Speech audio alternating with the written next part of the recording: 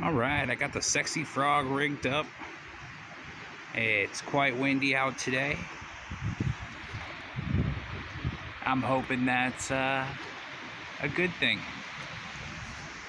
Let's see.